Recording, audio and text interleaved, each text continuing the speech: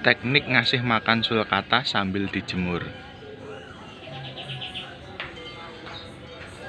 Yang atasnya ini bolong.